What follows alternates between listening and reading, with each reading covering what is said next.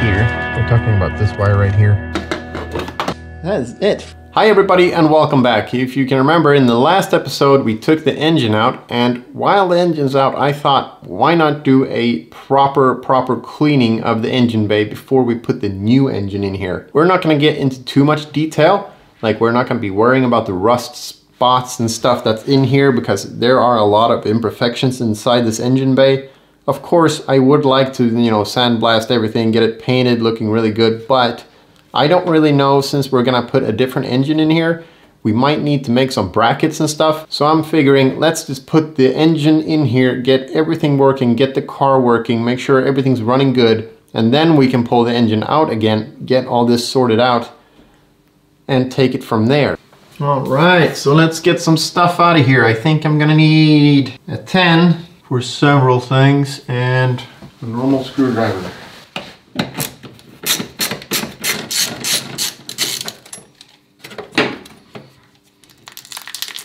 Oh, goo.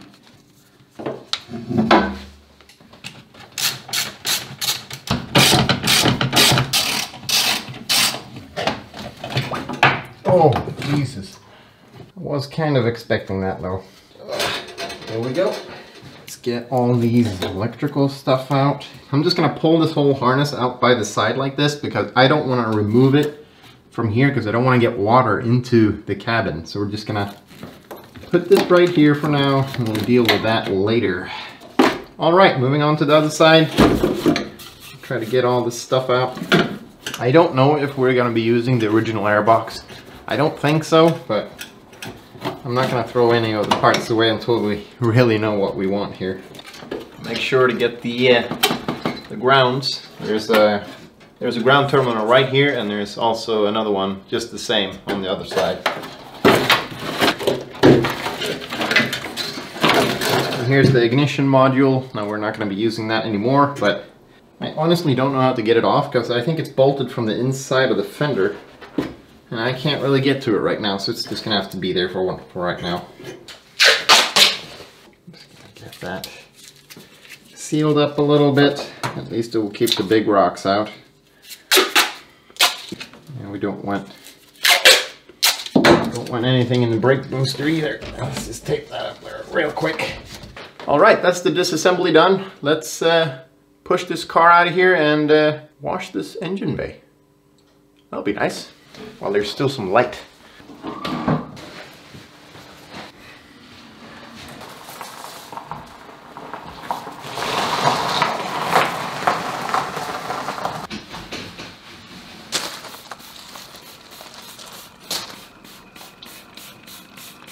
All right, so this is what I'm using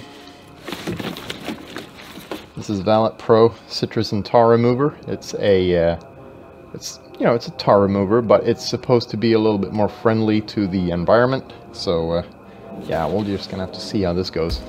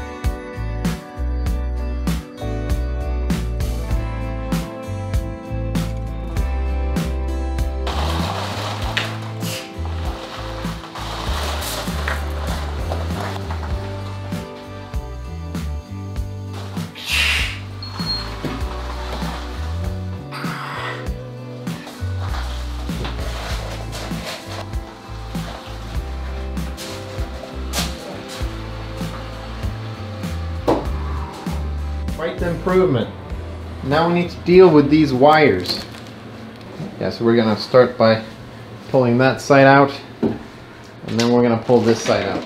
Because you know, I don't want these things dangling here when I'm working and doing all this stuff in the engine bay. I just want these to be gone. And we can put them back later and sort them out. Alright, so this is how the inside of the car looks like right now. I've taken a few things off. and gotten the glove compartment out, obviously. So what we're going to be doing here is removing the wires that we don't really need. We're going to try to get, because all the wires coming from the engine bay wind up here. So we want to split this and just pull this entire thing out so we can get rid of that. And then we'll sort that out later. I'll probably make a video about that in, uh, in itself because it will be a little bit too much to cover in this one. Okay, so let's start out here. Let's start with this one. Let's get that out of here. There we go. We can pull this out. Uh, let's cut that. And I can see that this part right here goes into the engine bay. And that obviously is connected to the ECU, the engine management unit right here. EMU if you want to call it that, but this is for the fuel. So we call this the fuel box. So this handles only fuel. And then we have an ignition box, which is on the driver's side up at the steering column. We're not going to worry about that now. Okay, so then we have this giant connector right here, and it's quite easy to disconnect. We just have two pins right here, push those in, and you separate the whole thing, like so. Okay, so then we got to see, what, what, what do we have left here? Okay, so we have some positive wires here because there's a connection at the battery. So we got to get rid of this. And we also got to get rid of this. There's a connector right here that goes to, seems to go into the door. I don't know why that goes. Okay, so it's connected here. All right. So I think that would be easier to just disconnect here. Let's see how we're gonna get this out of here. Um, okay, I see now it's got pins right here. So all we need to do is push these out. Just be gentle. Don't force anything. This is very, soft plastic. There we go. Now that pops out. Now we've gotten rid of almost everything. Now we just have these two right here that need to go. So we need to open this up. So we're gonna take a look at this, see how we can open that up. Seems to be something like that. Perhaps, no? All right. Okay, it doesn't open like that. Doesn't seem to open like that. Maybe it's a sliding thing. Yeah, it's probably a sliding thing. We pull this down. And we should be able to slide this upwards. This is probably not meant to be used several times. There you go. You have these two big ones. Can actually pull that out. Pull this off. Like I said, there was it was a long time ago I did this. But you know, it's it's a brick, so it's kind of easy. All right, we've gotten those off. Let's remember that we took those off because I don't think anything in this car will work without them. Let's slide this back on here so we know where it is. There you go. Put that back. And now we have disassembled the whole thing here. I'm gonna go into the uh, engine bay and try to pull on this and we'll see what happens.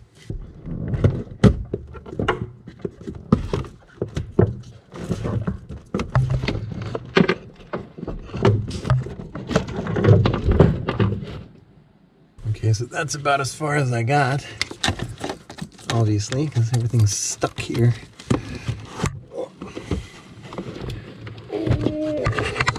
Tight. Tight. I'll just send everything in there.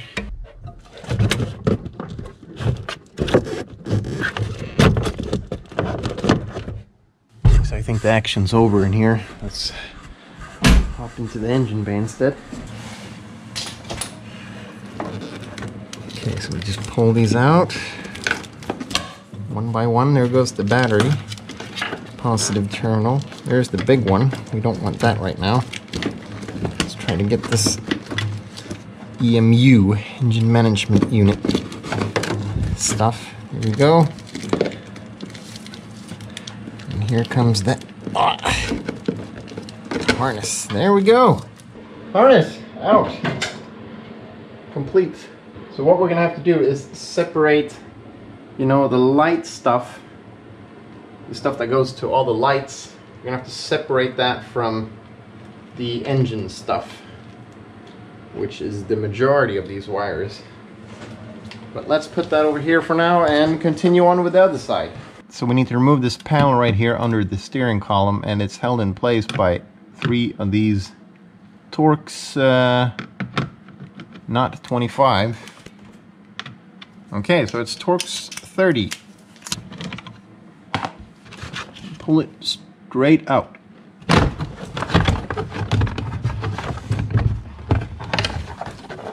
There you go. Okay, so let's dive in here and take a look. Pop under here. Over here is the ignition module. It's right over here. I hope you guys can see it. It sits right here. It's called the EZK116. So we're gonna get that removed. And then we have the big harness coming out right here. Just like on the other side. We have this huge harness right here where, where everything goes into. So we're gonna open this up. And we're basically going to be doing the same thing. We're just gonna be pulling wires until we uh, get the harness out. Let's see now, why does this go around here like a freaking... That is tight on there. Why would they do that? What does that even... Where does that even go to? Oh, it's nothing. It's not a wire, it's a... It's a holder-in thingy. Okay, so we got that loose. Oh, here comes another one. Alright, so see. Okay, so here we go. Now you can see. Can you guys see that? Hopefully you can. This is the harness that goes into the engine bay. Here we have something else. Don't know why that goes into nothing here. Not really sure where that goes. So you have the ignition right here. This is all the ignition stuff. We're gonna get that too. That. Lift that off there. We have the ignition module right here. Pull that off. We can do this big harness right here. It's just like on the other side. Push those in. Open it up pop it off. This one's a lot easier because we don't have a lot of other stuff in it.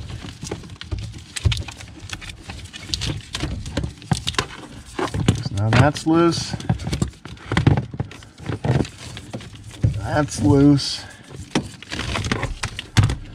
Now it's just a question of this other wire right here. What is this and what does it go to? Hope you guys can see this. Uh, we're talking about this wire right here and it kind of goes into the uh, oblivion there. Not really sure where that goes. All right, so I've been doing some thinking here and uh, I've come to a conclusion. Okay, so I'm colorblind, so don't don't kill me if I get this wrong. But this green one right here and this black one goes to the side blinkers. And this black and white one and the red and black one, I hope that's right. Could be brown, I don't know. I think these two go to the door opening sensor. And this bundle right here goes to the wipers. That is my theory. But the only way to confirm it is to uh, get to the wiper engine, I guess. So uh, let's do that. All right, so to get to the wiper engine, we have three bolts. We have a 10 millimeter right here, we have a 10 millimeter right here, and we have another one over there. And we also need to remove the windshield wipers, of course. So let's start with the windshield wipers. Okay, so let's start with popping these off. Here we have a 13. Screw these off. There you go. Pull this off as well.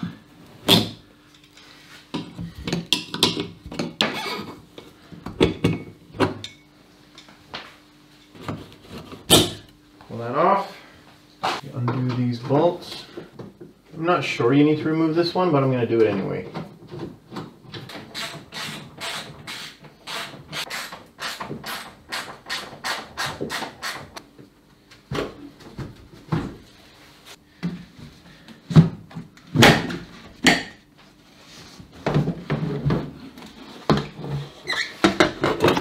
There you go. And what do we have here? A connector. I can't believe that these connectors actually work as good as they do. I mean, there's basically no corrosion on these, even though they're completely exposed to the environment. I guess there's a little bit of a seal in there, but I mean, it's nothing like today's, but it still works. Okay, so there's one more thing we gotta do, obviously, before we move on here, and that is to remove this door sensor. well, sensor and sensor. I don't know. It's more like a button. It tells you if the door is open or not. We unplug that. Like so. I don't know how you're supposed to get that back in there, but well. Okay, so here's the wires. Should be able to pull this out now.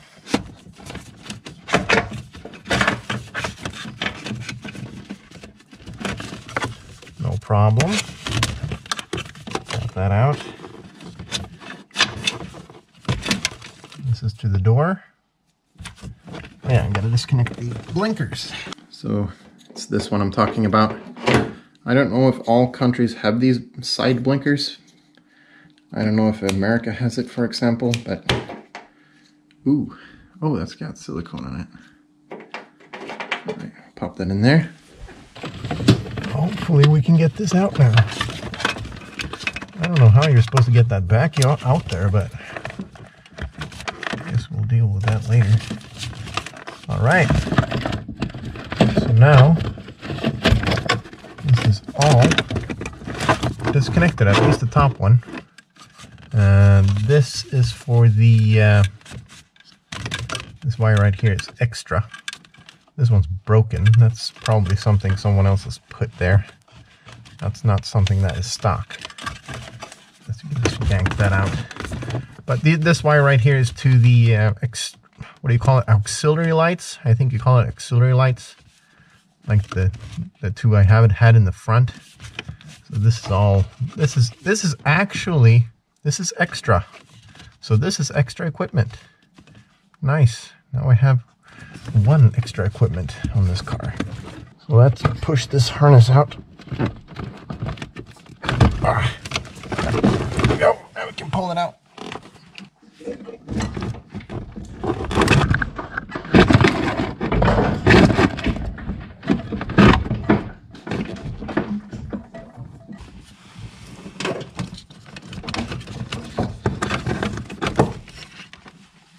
So uh, let's get this out of here. Let's see. It splits into two. So this one right here goes to the button, obviously. Let's see if we can remove that without having to remove. Did I pull it out? Oh, what did I pull out now? I pulled something else out. There we go. Must have pulled out the uh, the rear fog light. Yeah, I pulled out the rear fog light. Oh crap. Put that on there again. Here we go. And then the other part of the wire, I would guess, goes to the uh, relay central, which is right there. So let's see if it does that. All right, so here's the relay central. I can see the wire coming in here. And it goes to this relay right here. Let's just pop that off. Uh, it's got some pins here. Let's push those in. We just pulled the ground and the power. The power came from fuse number three, and the ground.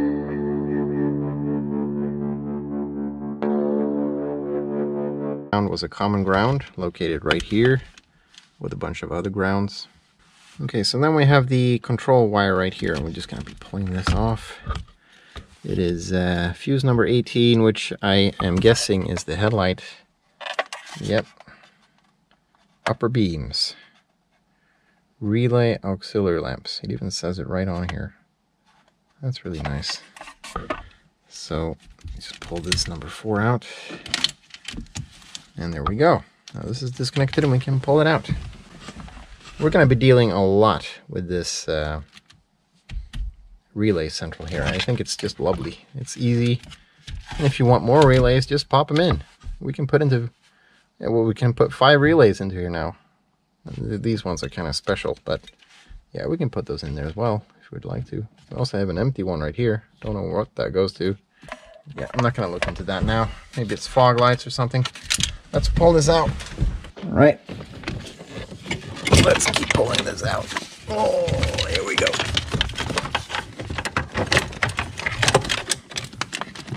I don't know why this isn't pulled out all the way. Sloppy, sloppy mechanic at Volvo.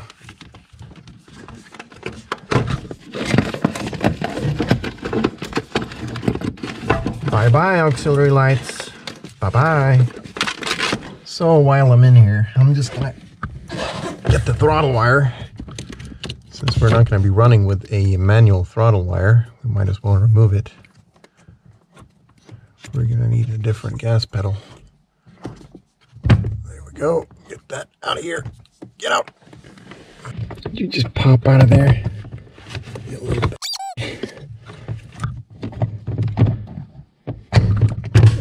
Go.